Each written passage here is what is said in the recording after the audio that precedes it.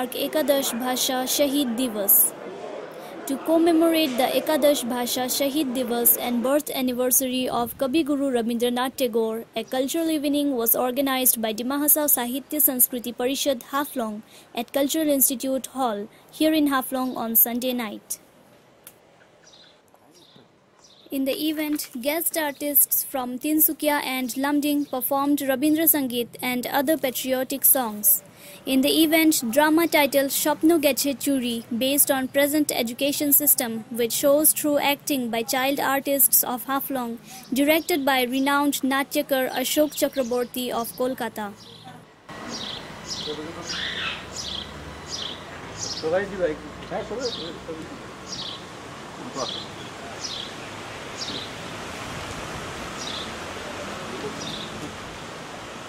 No, no.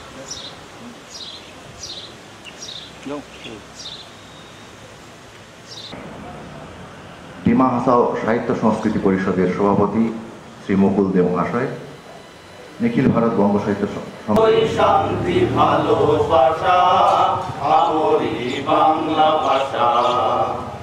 মোদের গরব মোদের আশা আমরি বাংলা ভাষা।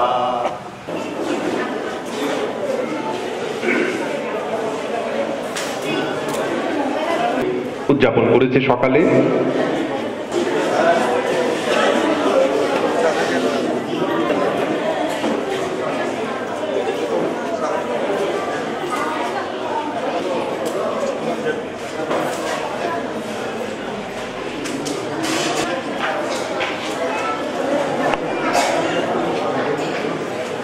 মূল অনুষ্ঠানে যাওয়ার আগে একটু উনিশ ছুঁয়ে যায়।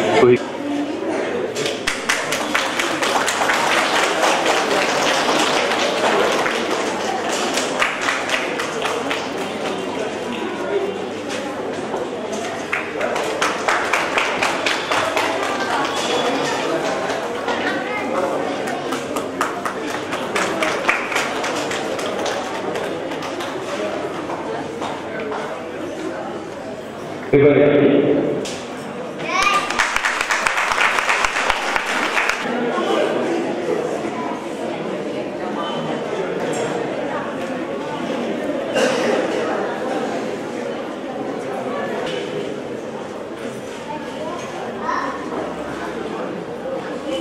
यहाँ आके बहुत ही अलग लगा और बहुत अच्छा लगा मेरा ये सब बहुत ही नया है पहला हम यहाँ के अगर कुछ कल्चर हॉल में कुछ करना था तो होस्ट करते थे। कुछ प्रोग्राम के लिए आज बहुत डिफरेंट लग रहा है। मेरा best wishes to all the organising committee in inviting me and then uh, uh, making, I hope this program was for today. And then uh, this, uh, the famous Rabindranath Tagore's program, I wish this particular organization to be a successful organization and wish a program to be a successful program. Thank you so much.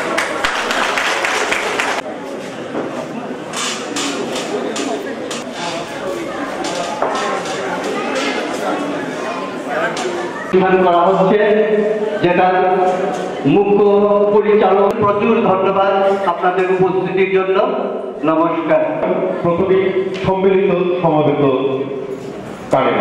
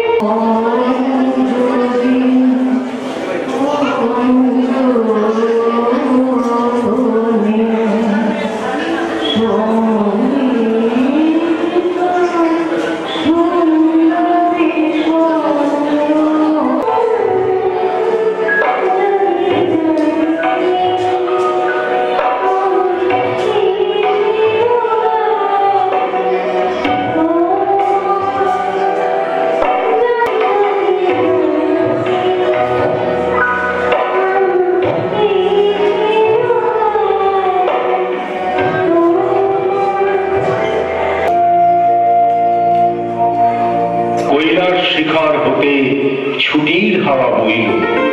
মানস সরোবরের পদ্ম গন্ধে দিন রাত্রি হলো উতল। সোনার আলোয় চারিদিক ঝলমল করে উঠল। চারিদিকে তাকিয়ে মন দেখলে প্রভাতের শুকতারা আর শিউলি বনের শিউলি ফুল।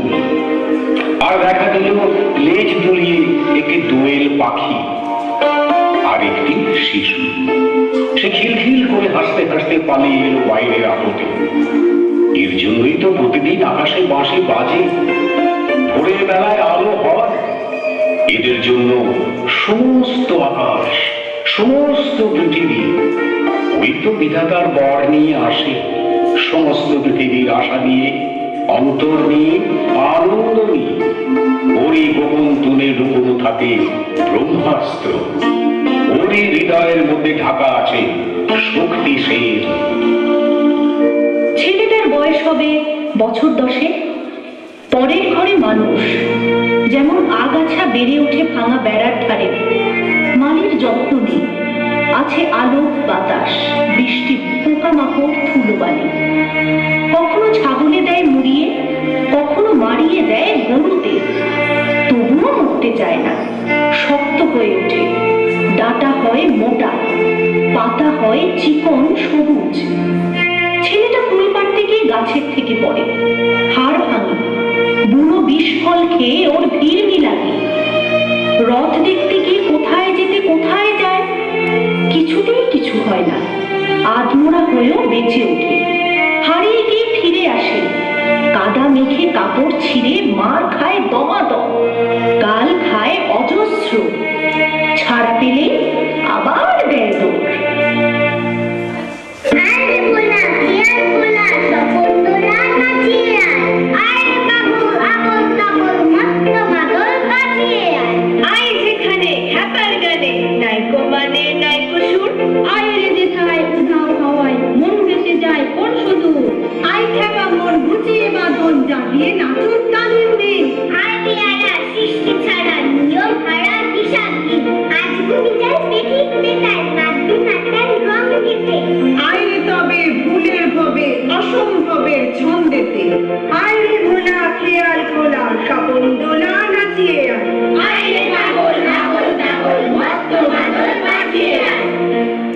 মন এরকমই কৌতূহল আর প্রশ্নের পর প্রশ্ন।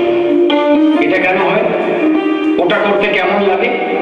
এই ধরনের নানা রকম পরীক্ষা নিরীক্ষা তাদের অভিভাবকদের সস্নেহ শাসনও অবশ্য সঙ্গে থাকে। এইভাবেই শিশু মন বিকশিত হয়। শিশুরা বেড়ে ওঠে। তারপর একটা সময় আসে প্রথাগত শিক্ষা। বিদ্যাসাগর বর্ণ পরিচয় করাতে গিয়ে শিখিয়েছিলেন অতে অজগর আতে আম ইতে ইঁদুর ইত্যাদি শিশুরাও সেই অজগর আর আম থেকে উত্তরিত হয়ে ঐক্য, বাক্য, মাণিক্যের মণিমাণিক অবলীলায় কুড়িয়ে নিত চতুর্দিকে অভিভাবকদের স্নেহ মিশ্রিত স্বর যেন গুনগুনিয়ে উঠত।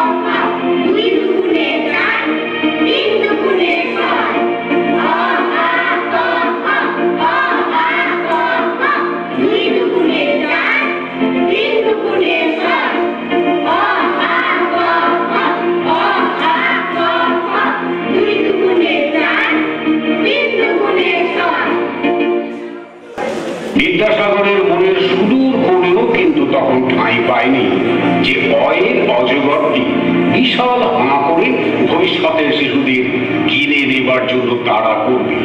আর সর্বত্র শিশুরা ইঁদুর ছানার মতো ভয়ে লুকোবার গর্ত খুঁজবে। একটা সময় এই অজগরের চাপে পিষ্ট হতে হতে তাদের নিঃশ্বাস হবে বন্ধ। নিজস্ব সত্তা যাবে হারিয়ে তাদের অবস্থা হবে তোতা কাহিনীর সেই পাখিটির মতো। আজ এই অজগরের হাঁ সর্বত্র বিস্তৃত।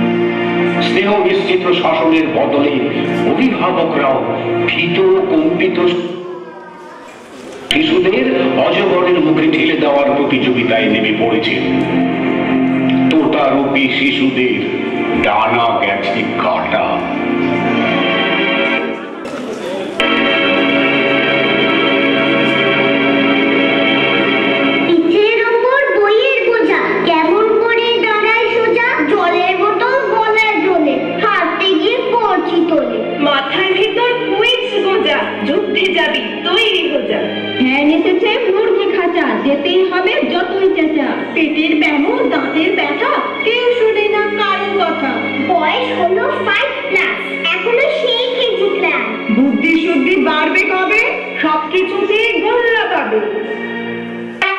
হয় আজি এদিনীয়া কাৰ্যসূচী লৈ আমি হাফলং কালচাৰ ইনষ্টিটিউট হলত একাদশ ভাষা শ্বহীদ দিৱস আৰু বিশ্বকবি ৰবীন্দ্ৰনাথ ঠাকুৰৰ জন্ম জয়ন্তীৰ আয়োজন কৰিছোঁ।